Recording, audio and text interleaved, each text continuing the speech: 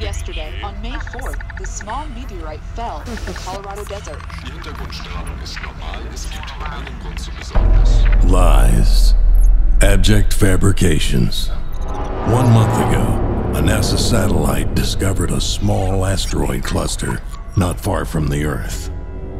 Preliminary analysis could not determine the composition and structure of the bodies. And the telescope images caused the Space Center even more concern.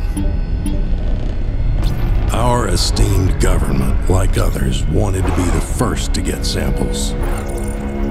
To avoid diplomatic disasters, elite mercenary commandos were sent to the impact site to take samples before the local authorities or competitors could do the same. So, we won't be alone there. Primary goal is to be the first to reach the impact site.